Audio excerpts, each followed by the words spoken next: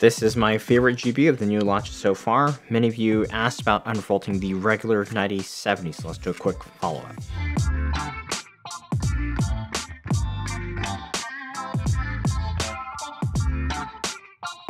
Welcome to Machines More. Seems like many of you found the 9070 XT undervolting video helpful. Glad to see that. We'll do another one today. Judging from the comments in the other video, looks like a lot of folks had a good experience finding some cards at the MSRP from Micro Center here in the US. Uh, unfortunately, online, uh, you know, hit or miss feedback.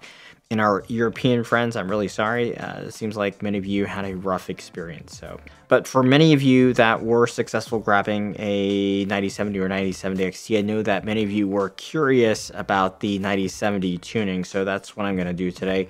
First thing to know is that unlike the 9070 XT, the 9070 is actually already in a good place when it comes to power efficiency. And at these power levels, it's less imperative to lower the power. So most cases can handle the 220 or 230 watts out of the box, but you might think if you can, why not, right? So I'll show you how to explore the undervolting potential of your card.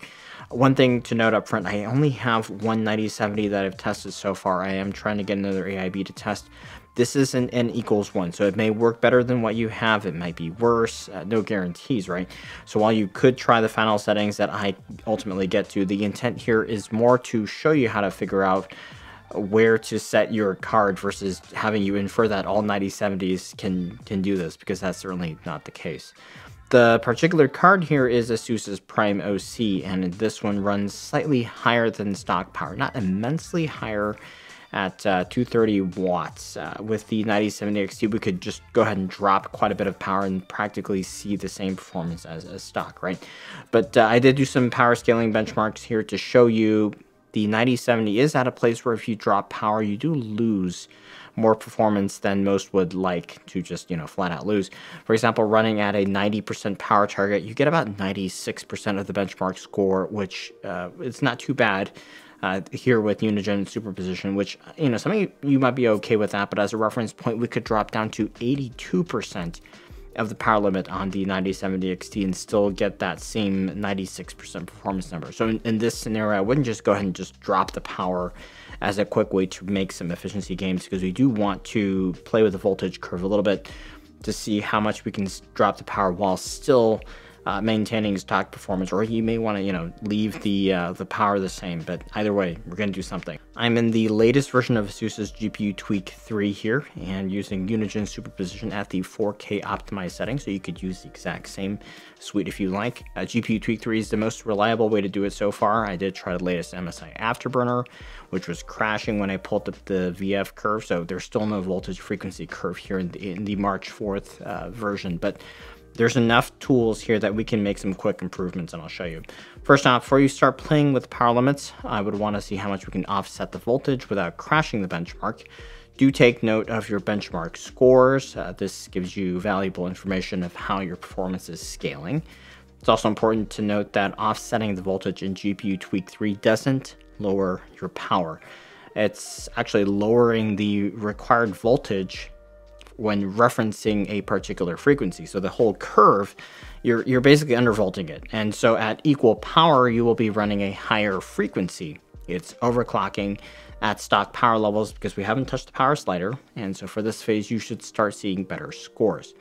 Go ahead and keep that power limit at 100%. First, I went minus 50 millivolts, ran superposition, then minus 110 ran it again. It actually crashed at minus 150, so I dialed that back up to minus 130, and that gives you a rough idea how much you can offset the voltage. Although when you later reduce your power, you can, you know, maybe be able to dial that back down a little bit, but this gets us into the ballpark so we can start playing with the power. You may be able to get more of a negative offset than I was. Uh, just go keep going until you hit instability and then dial it back up a little bit. So this way there's a performance bump at the same power limit it's actually perfectly fine to do this if uh, what you want is extra performance at stock power, just, you know, leave it. or at this point you can go further and move up the power limit if you want more performance at more power. So that's you know how I was able to overclock this to match the 9070 XT previously. But in this specific tutorial we're going to go for stock performance at reduced power. So uh, your typical undervolting scenario so now we want to limit the power to the card while staying fixed at the minus 130 millivolt setting then I just started dialing down the power limit first 95% let's check the score still seeing higher than stock. We can keep going. 90% uh, still higher. And by the way, if you're happy with any of these power levels, you can stop at any point. It's totally fine if you want a mix of lower power slash more performance. Go ahead, have at it.